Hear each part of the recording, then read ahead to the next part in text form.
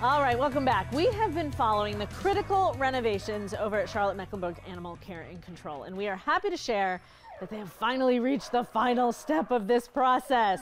But before they embark on that final step, they're going to need some help from the community.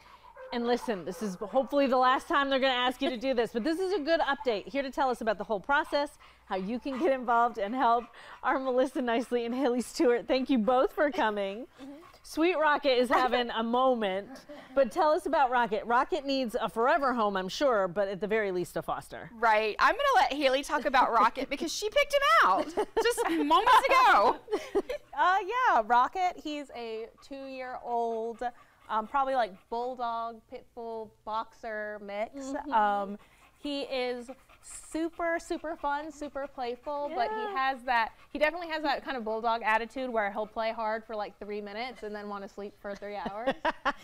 so we love that about him. Um, he's in that want to play hard mode right now. Uh-huh. So, but I feel like he's getting towards the sleeping mode. He is so great. He really, and he knows sit. He's good. Yes. He's like oh, a really he does good boy. Sit, yes. He's a real good boy. Okay, so we said this is sort of the final stage, Melissa, of these renovations. Get us caught up. Where have we been? Where are we now? Sure. So, in we're specifically talking about the dog kennels. Um, we had uh, steps one through five as we've been moving through. We just finished up all of the lost dog kennels. So that was in two stages. So that was 36 kennels and then 46 kennels. All of those kennels are back in operation. Yes, and they're beautiful. Good. Yes, they're beautiful kennels. And so now the next step is we're in what are going to be our puppy adoption kennels. There's only 19 of those. Okay. We're in that phase right now. Coming up is, so that's phase four. Coming up is phase five. Yep. That's going to be the dog adoption kennels, and there's 47 of those. Whew. So we're looking at the the process to have those empty is going to be April the 12th. Okay. So everybody put that on their calendars at 7 p.m. on April the 12th. We're going to have to have all of the dog adoption kennels emptied so that they can undergo the renovation process, which is probably going to roughly take about three weeks or so. Okay. So we're looking at this whole project being done and all of our kennels being back in operational service at the end of the month, which is great news. It's huge news. Once that happens at the end of the month, how many total spaces will you have for, for animals? Ballpark it. Oh gosh, um, 40, 80, probably close to 175. And that will make a huge or difference so. for you. Uh, and, and that's just dogs. That's Yep. not the cats. Yep.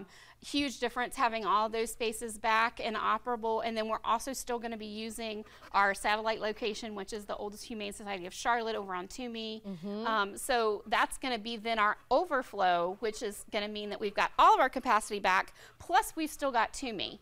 So we're going to be at the most capacity. So. Wow. Well, and but to clear out those kennels is a, is a massive task. It is. So you're asking people to do what?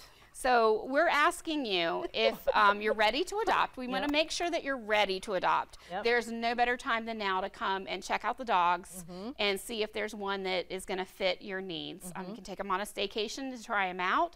Um, but the biggest goal I think is going to help us um, clear out the kennels quickest is finding people who have it in their home and in their heart and can foster for a few weeks. Mm-hmm. We're not talking months. We're just talking from getting them out by the 12th and then possibly another couple of weeks, so maybe going into the first week of May. Okay. So if you have a couple of weeks and you can have another um, another pup in the home, that would be fantastic. It's going to clear out the kennels and um, make it a lot more. Uh, there's, she's I'm okay. going to take. Do you want to just let him run? You can just let him run. Is that okay? Yeah, it's okay. Let Okay, him go, run. Rocket. Go ahead, buddy. Oh. and he's gone. Goodbye, Rocket. Rocket, come they're, They're going to be doing some really fun things to encourage folks. Come here, buddy. I wish you guys could see him. To encourage folks to foster and adopt and do staycation. So go make sure you're following CMPD Animal Care and Control on all of their social media pages so that you can see all of the cool, fun things that they are doing to make sure that as many of these dogs can get into homes so that we've lost the dog. It's behind the set.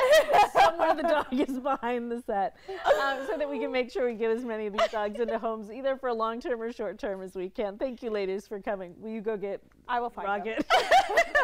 Thank you for having us. Absolutely.